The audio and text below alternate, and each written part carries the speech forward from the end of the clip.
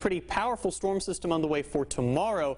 The entire tri-state has been placed under a slight risk for severe weather, and it's been a long time since we've had to talk about severe weather. So now is the time to make sure that weather radio is good to go. And today, Chief Meteorologist Wayne Hart is out at the Walgreens in Henderson, talking more about the weather radio programming going on at that at the location there. Wayne. Oh, hey, Dave. Uh, yeah, we're outside of the Walgreens in Henderson on really a beautiful afternoon after those showers moved through earlier. We got our first warning mobile storm tracker. Of course, that's all ready to go in the event uh, we have uh, some severe weather tomorrow afternoon. Indoors, we're programming weather radios, and we got a special deal on the desktop model this week, $24.99. But Dan McKinney from Integrity Storm Shelters is here again with us.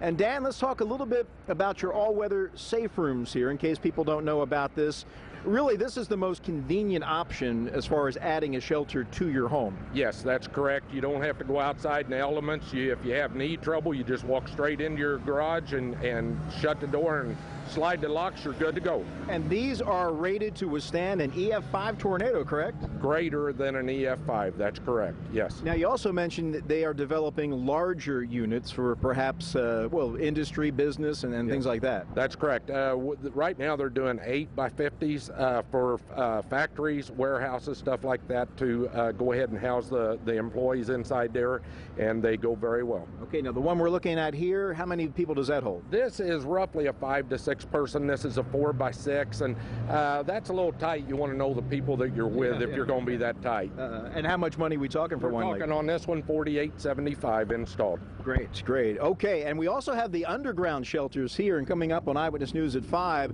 we're going to talk a little bit more about the underground uh, option as far as the shelters are concerned. And of course, we'll be indoors programming weather radios here at Walgreens in Henderson, right on Green Street in the heart of town until 7 o'clock tonight. And we've got the possibility of our first severe weather event in quite a while for tomorrow afternoon and evening. And for more on that, let's head back to David in the Weather Center. David. That's exactly right, Wayne.